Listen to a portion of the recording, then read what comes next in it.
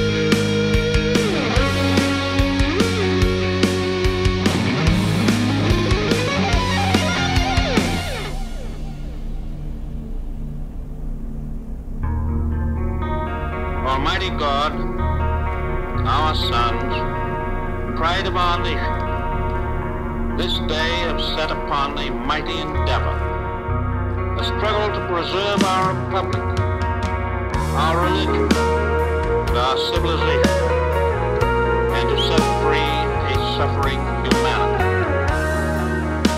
Lead them straight through. Give strength stoutness to their hearts, steadfastness in their faith. They will need thy blessings.